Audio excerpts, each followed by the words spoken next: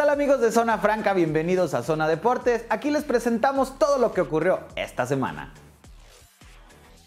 El León se queda sin técnico para la próxima campaña. Así anunció la directiva del Club León la salida de Nacho Ambriz después de esta temporada. Se habla de que podría llegar a los Tigres, que también ya al final de la temporada le dirán adiós al eterno Ricardo Tuca Ferretti. El estratega Esmeralda se irá con una deuda pendiente, ya que no pudo dar el paso a la internacionalización con el equipo y se fue eliminado en la primera ronda en sus dos participaciones de la Conca Champions.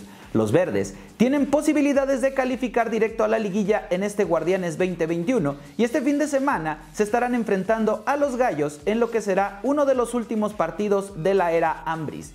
Ahora se busca domador para el todavía campeón del fútbol mexicano. El presidente del Club León, Jesús Martínez Murguía, habló sobre la salida de Nacho Ambriz, diciendo que por más que le insistieron y le insistieron, nunca hubo respuesta por parte del técnico. Eh, ¿Qué es lo que pasó? Que hubo muchos meses de negociación en el cual eh, no hemos llegado a un acuerdo de parte del club, de la institución. Eh, la idea, por supuesto, tanto mía era de que continuara el profesor Ignacio Ambriz, porque es un, técnico que ha demostrado grandes cosas para esta institución, que lleva un proceso de, algunos años y hoy en día eh, no se pudo llegar a un arreglo por diferentes circunstancias. Nosotros estamos agradecidos 100% por todo el trabajo que ha dado y hoy en día estamos en la antesala de, de defender un título que nos costó sangre, nos costó mucho esfuerzo, que nos ha costado mucho conseguirlo y hoy cerramos filas para lo que viene, que es una liguilla, un repechaje muy importante, esperando pasar dentro de los primeros cuatro, es nuestro, nuestro proyecto, más sin embargo estamos preparados para defender el título y el día de mañana desearle todo el éxito al profesor, a su cuerpo técnico que han dado mucho por, por esta institución, pero también el Club León sigue y ya vendrán nuevos proyectos y, y nuevas metas para esta, para esta institución. Eh, nosotros desde que empezamos, eh, estaba por iniciar la liguilla pasada, del torneo pasado, yo me he acercado con él, con su representante.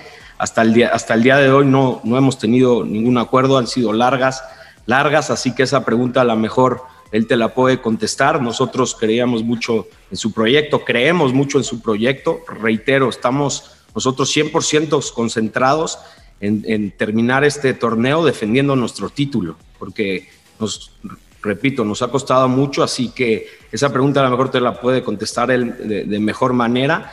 Y, hoy es el momento de cerrar filas para nosotros, para los jugadores. Ya he hablado con ellos, ya he hablado con, con el mismo Nacho. Seguimos unidos porque somos gente profesional que hoy en día defendemos una institución y esta institución merece respeto, esta afición merece respeto, la historia del club merece respeto. Así que te puedo decir que estamos eh, cerrando en muy buenos términos y buscando lo mejor para lo que viene. Así que estoy seguro que León eh, va a defender este título a muerte con, con Nacho Ambriz, con su cuerpo técnico, con los jugadores, con una institución que viene demostrando cosas buenas, no a partir de ahora, sino ya de algunos años.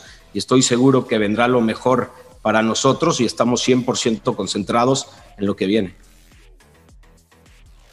Los toros del Celaya están heridos de muerte, tras caer en la ida de los cuartos de final en la Liga de Expansión ante los Potros de Hierro del Atlante, ya que se trajeron una derrota de 2 por 0 de la capital del país.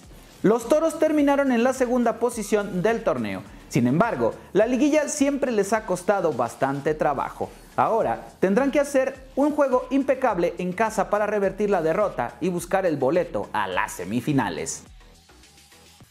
Los Bravos continúan con su pretemporada y después de tropezar en dos ocasiones ante Monclova, ligaron par de victorias ante los rieleros de Aguascalientes. Además, este fin de semana, en la ciudad de Guanajuato se estarán enfrentando a los mariachis de Jalisco, ya con la incorporación de más peloteros.